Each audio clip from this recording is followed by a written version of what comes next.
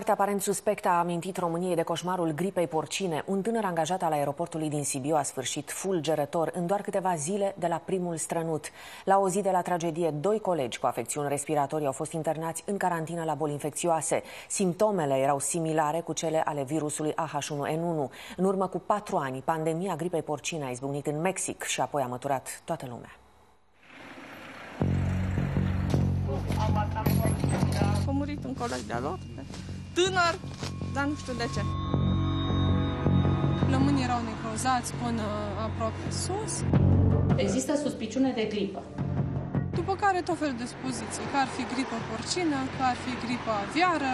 Orice cuvânt așezat după gripă amintește de coșmarul global început cu un strănut în 2009. După revelion, un tânăr dispecer de aeroport ajunge la urgențe cuprins de febră. Primul diagnostic, pneumonie. A doua zi din doi, unul dintre medici ne-a recomandat uh, să-l mutăm pe terapie intensivă, că insuficiența uh, respiratorie nu este nu este bun. Boala avansează cu rapiditate, iar tratamentul nu dă rezultate. În doar patru zile, Dragoș este declarat mort. De ce nu ne-au reținut pe noi, pe mine ca soție, pe copil, pe mama lui, care au stat în spital. Șefii tânărului nu pot risca. Călătorii din avioane au fost principalii răspânditori ai virusului AH1N1 și acum patru ani. Scenariul pandemiei riscă să se repete și trebuie oprit cu orice preț.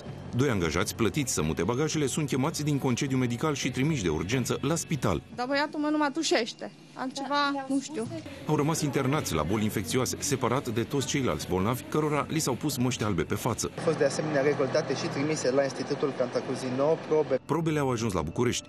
Nu ar fi fost primii bolnavi de gripă porcină din județ. În prima săptămână a acestui an am primit și prima confirmare de izolare de virus. Este vorba de virusul AH1N1 pandemic la o persoană de sex masculin de 34 de ani. Acum patru ani, pandemia acoperea harta mondială cu punctele roșii ale victimelor. 19.000 de morți în toată lumea din cauza gripei porcine, 122 în România. Când s-a stins actorul Toni Tecuceanu, a început adevărata isterie a vaccinărilor. Vă rugăm frumos, puțin! Păi nu te